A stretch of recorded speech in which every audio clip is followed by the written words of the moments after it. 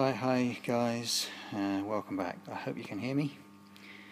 Um, it's a very short video tonight. I've got a quick, quick little bit to show you. Um, making another one of these exhaust can repair sections, heat exchanger repair sections. You've seen me do it before, but uh, I had to do quite a bit of it off camera because I uh, just too busy to film. So just very briefly, how we how we made this flangey part here. Um, uh, cut out with the plasma cutter. A little a circle using some guides fairly accurately, a little bit of filing. And then just tap the center here into a, a little former that I turned on the lathe um, which makes it a tight fit over the tube. And for the sort of external flange um, just speed tacking some bits. Where are we? Speed tacking some bits on like that and leaving myself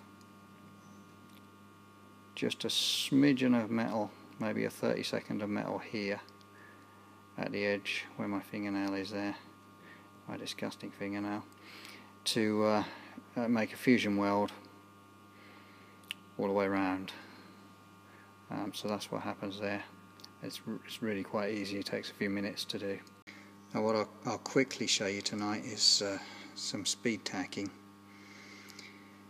What you got to do is uh, if you'd normally weld just over an amp per thou for stainless we want to double that. So 30 thou stainless I'm saying it a shade over 60 amps and I'm setting the, I'm not using the remote control, I'm using the foot pedal to initiate the arc but I'm switching the current control to panel so it comes bang up to 60 and off um, for a tenth of a second. Uh, if the parts are actually touching with nothing between them that will form a little fusion tack which on 300 series stainless um, which is not sensitive to, to rapid cooling, it doesn't harden, it's not heat treatable, will form a very strong tack. Right, I'm going to see if I can get you a good shot of this.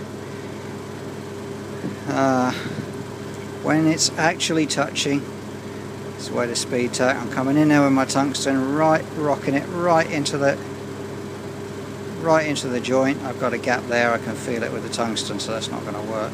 Let's come down to here. I can still feel a gap. You can't uh, you can't work with a gap even if it's only a thou, so we'll get some more grips on that and come back in a second. Alright, I've got some pliers there. Then I'm going to come in, that's coming from the bottom with the torch there. Get the tungsten right on the work, rock it back a thou or two and blam. And we got complete fusion there just the tiniest burst. And uh, okay, what I'm going to try and do now, have to get the light in here to show you, is try and come in really nice and close and just melt that little edge down. Um, keeping a really tight arc, no more than the thickness of this this 30 thou material here. Um, and that should form a little fusion weld because I say I've just left myself at a 30 second there to melt down onto this. Um, I'm not going for full penetration, I'm, I'm not shielding the back of this, I need to make this fairly quickly and just get it done. So that's what we're doing, we'll see how that goes.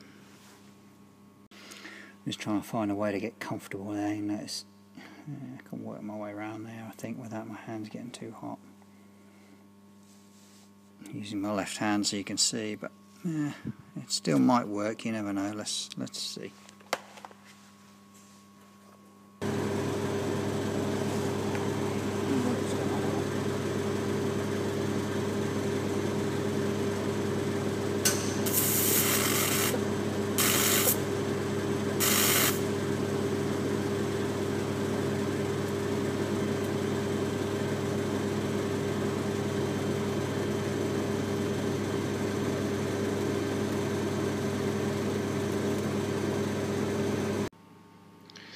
Okay, and what we end up with, I don't know how well you can see that, there's a little fusion weld that can be just dressed down with a file and sanded um, and that will make a nice smooth surface for the so external shroud to sit on.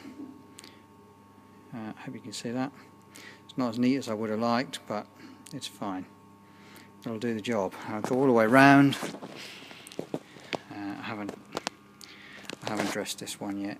The weld weld still looks a little bit crude on that and it's just tacked with four little welds onto the uh, heat exchanger part. Um, the rest you've seen me do. Hope you enjoy watching. Check out weldingtipsandtricks.com for some uh, better tips on speed tacking probably than I've got but if you're working with uh, 300 series stainless thin stuff get a good fit up. That's that's a good way to tack things especially if you're working on your own